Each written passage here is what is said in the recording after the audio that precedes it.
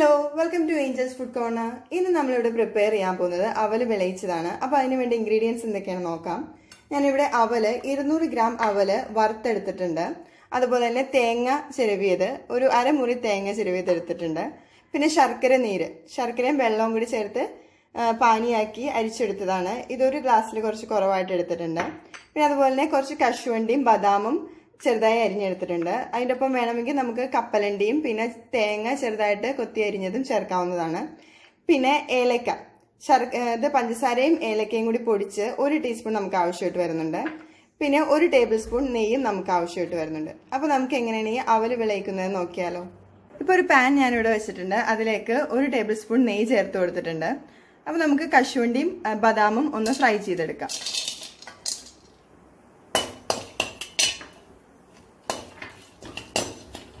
ഇപ്പൊ നമ്മുടെ കശുവണ്ടി മുന്തിരിയൊക്കെ ആയിട്ടുണ്ട്. ഇനി നമുക്കിതൊന്ന് കോരി മാറ്റാം.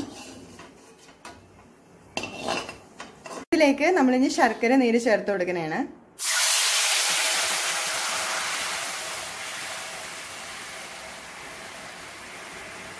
ഇതിലേക്ക് നമ്മൾ തേങ്ങ ചെരുവിത് കൂടി ചേർത്ത് കൊടുക്കണേണ്. നല്ലോണം മിക്സ് ചെയ്ത് ചേർക്കുക.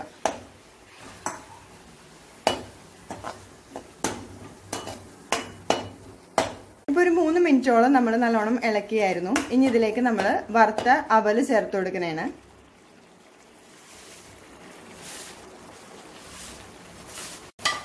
എന്നിട്ട് വീണ്ടും നല്ലോണം ഇളക്കി യോജിപ്പിക്കുക.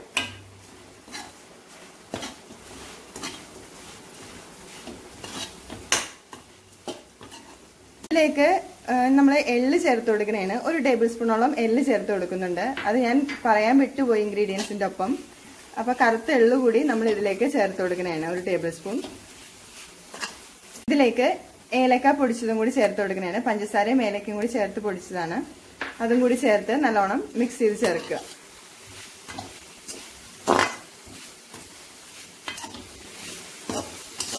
ഇപ്പൊ ഒരു അഞ്ച് മിനിറ്റോളം നമ്മൾ മീഡിയം ഫ്ലെയിമിലിട്ട് നല്ലോണം യോജിപ്പിച്ചായിരുന്നു ഇളക്കി. അതൊന്ന് വിളയിച്ചെടുത്തായിരുന്നു. ഇനി നമുക്ക് ഇതിലേക്ക് കശുവണ്ടിയും ബദാമും നേരത്തെ ഫ്രൈ ചെയ്തത് വെച്ച് ചേർത്ത് കൊടുക്കാം. ഇതുപോലെ തന്നെ നമുക്ക് വേണമെങ്കിൽ ഞാൻ പറഞ്ഞ പോലെ കപ്പലണ്ടി അതുപോലെ തേങ്ങ ചെറുതായിട്ട് കൊത്തി അരിഞ്ഞതും നെയ്യിൽ വറുത്ത് ഈ സമയത്ത് ചേർത്ത് കൊടുക്കാവുന്നതാണ്. ഇനി നമുക്ക് ഫ്ലെയിം ഓഫ് ചെയ്യാവുന്നതാണ്. ഇനി നമുക്ക് ഇതൊരു സെർവിങ് ബൗളിലേക്ക് മാറ്റാം. അങ്ങനെ നമ്മുടെ അവൽ വിളയിച്ചത് ഇവിടെ റെഡി ആയിട്ടുണ്ട്. ഇത് ഇരുന്ന് കഴിയുമ്പോഴേക്കും കുറച്ചും കൂടി ഒന്ന് ഡ്രൈ ആവുന്നതാണ്. അപ്പോൾ ഇതെല്ലാവരും തീർച്ചയായും വീണ്ടും ട്രൈ ചെയ്ത് നോക്കണം. ഇത് കുട്ടികൾക്കും മുതിർന്നവർക്കൊക്കെ ഒരു ഒരുപോലെ ഇഷ്ടപ്പെടുന്ന ഒരു റെസിപ്പിയാണ് ഇതെല്ലാവരും തീർച്ചയായും വീട്ടിൽ ട്രൈ ചെയ്ത് നോക്കണം. അതുപോലെ തന്നെ വളരെ ഈസിയാണ് ഇത് ഉണ്ടാക്കി എടുക്കാനായിട്ട്